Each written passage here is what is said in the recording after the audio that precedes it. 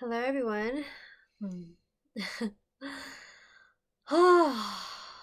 I am here to talk about divine partnership because I'm feeling so grateful and so in awe, and also a little bit intimidated and frightened by this journey.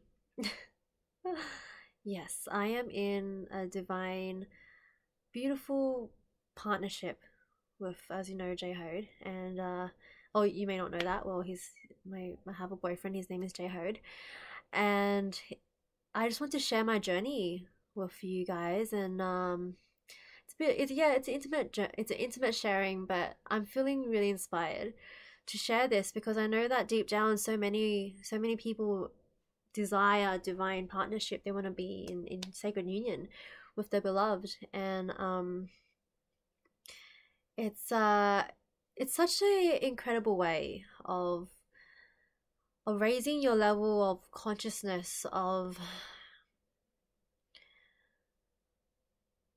it's intense of staying on path because if you're not on path if you're not loving yourself if you are not facing your fears if you're running away from anything that is waiting to be shifted your partnership will be a mirror to that. Your partnership can bring up triggers, fears, resistance.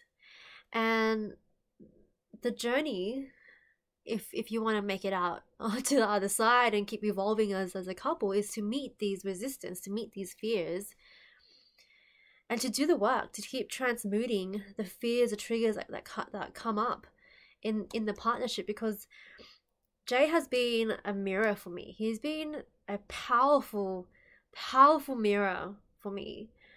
And sometimes, you know, I I feel things towards him that I'm like, wait, is this really about him or is this about me?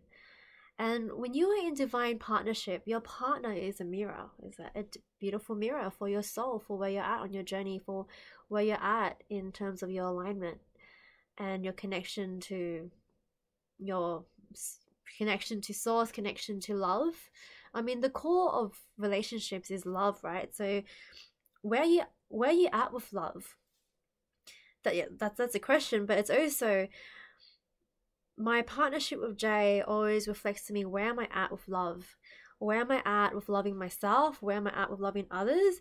And if I cannot feel the love for Jay flowing through me, openly, fluidly, if I cannot share his happiness, if I cannot share his pain, if I cannot, if I'm, if the way that I'm treating him is a reflection of where I'm at with myself and my past and my soul, and it's just constant like reflections. So when I'm open hearted and things are flowing well in our relationship, it's usually a reflection of how the how well things are flowing in my relationship with myself and in my relationship with God and with the divi- and with the divine.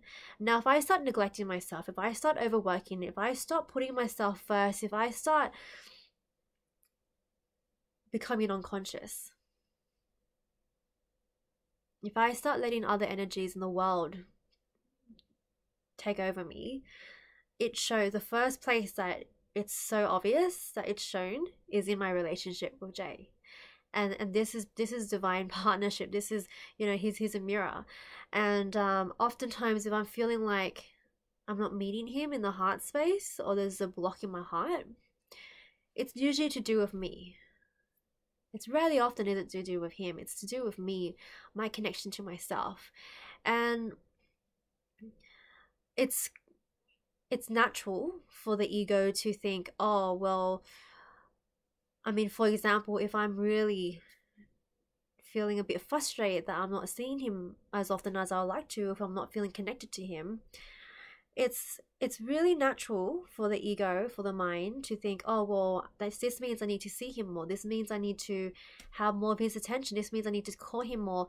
But he's he's but that's still external outsourcing on on on some level. That's still external external outsourcing. Yes, he's my partner. Yes, it's natural for me to desire him, for me to want to be with him more. But I stop and I question is it him that I really need to be more connected to, or is it me? And am I running away from myself by running to him? And this is a difference between being in a yeah, being in a normal relationship and seeing each other as often as you want and following your emotions and just following your emotions, following your triggers, following your reactions, following following what you want. And and going out and it's external from you, like going outside to get it, right? And yeah, my ego really wants to see him more.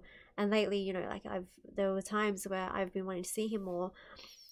But then if I really if I do the opposite of what my ego wants, and I realize from a place of higher awareness and consciousness that, well, have I been spending enough time with myself? Have I been loving myself as much as I, I can? And so, with this awareness, I've, um, I've, what, what I do, um, is I focus, I go within myself first. I go within myself and I see how is is my cup am I coming today with a full cup or am I expecting him to fill up my cup? And and when I come to him with an empty cup, I'm never satisfied because that the only thing that can fill that cup is not actually him. It's me, it's God, it's my soul, it's deepening my connection to myself. Um, it's rarely often can he do anything around about that. It's not his role to fill up my cup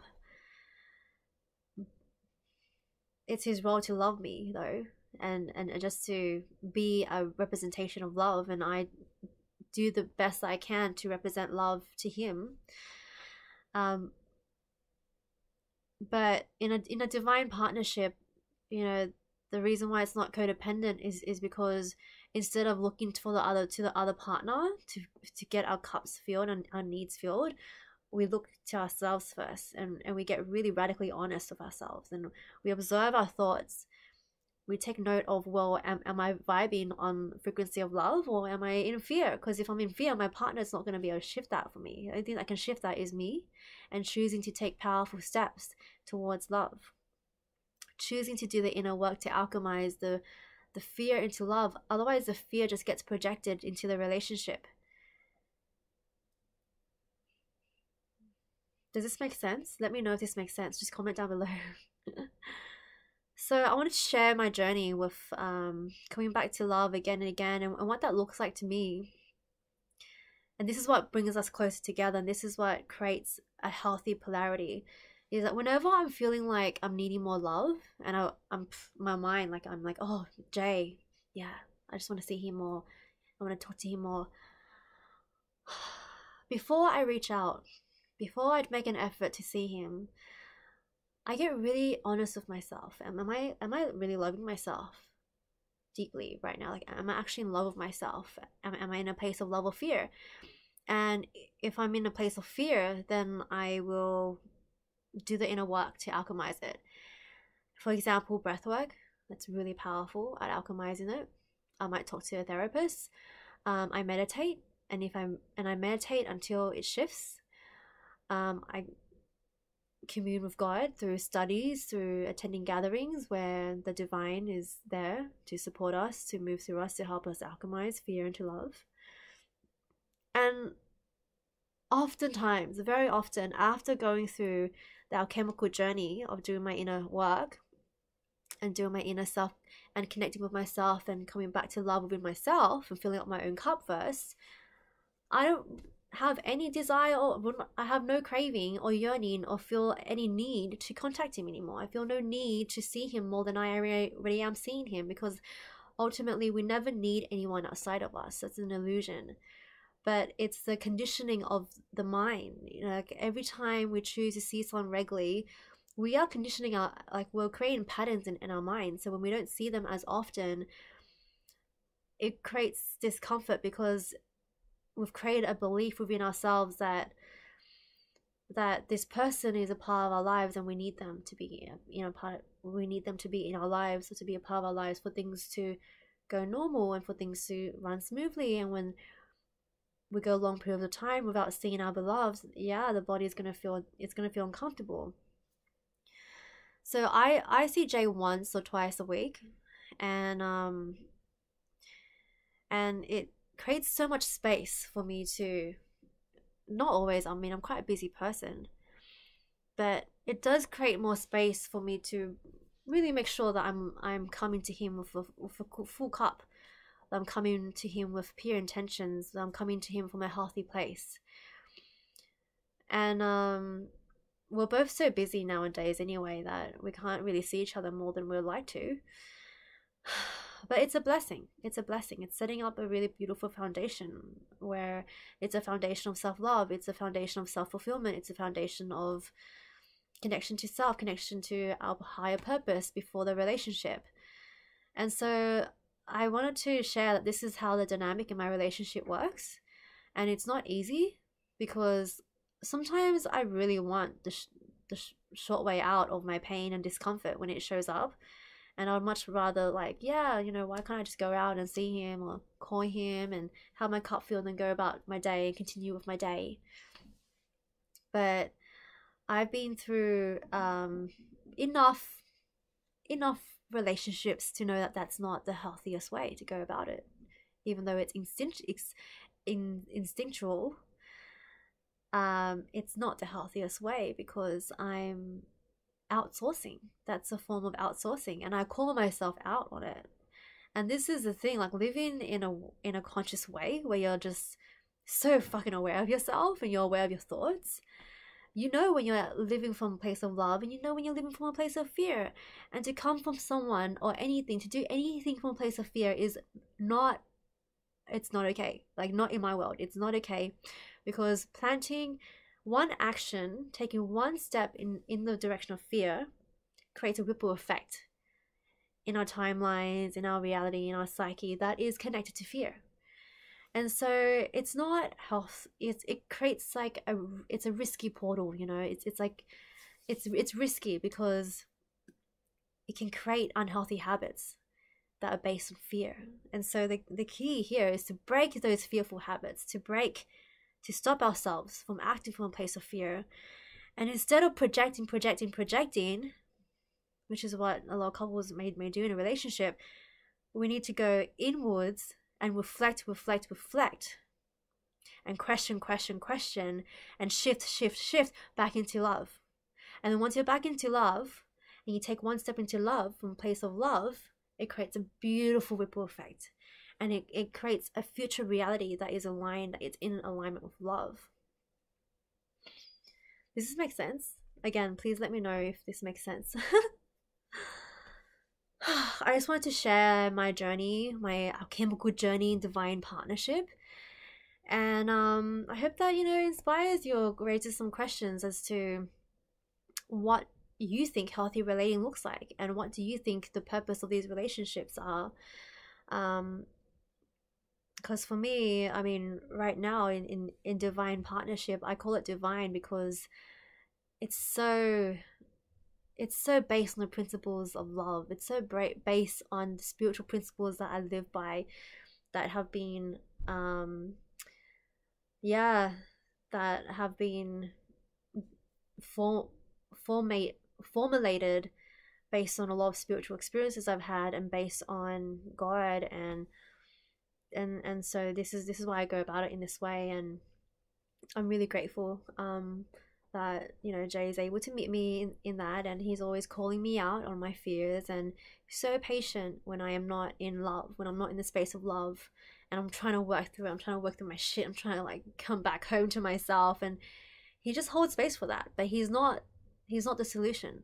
He's not my home.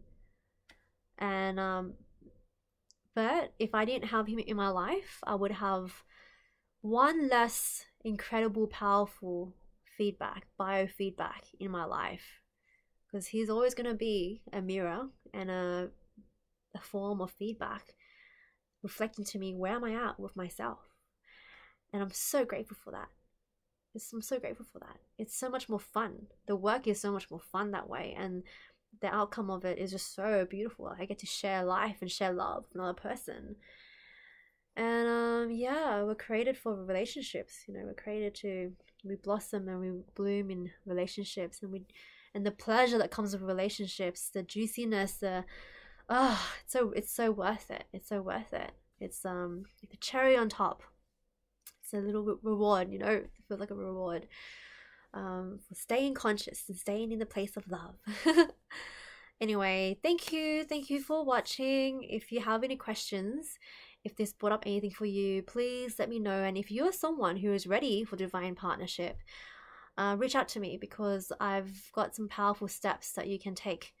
Um, and i also offer sessions for people who want to step get themselves to a place where they can attract the divine partnership. And um yeah it's it's beautiful and it's all about well how can you go how, how can you become your divine partner first before you welcome someone else to your space? Because if you can navigate things with yourself you can surely navigate it with another partner. And um yeah so if you're interested and if you're feeling ready please reach out book in a call with me. Um it's yeah i am excited. Thank you for watching this video. Thank you for connecting with me. Please comment, like, share it if you think it's relevant to anyone in your field. All right, much love. Mwah.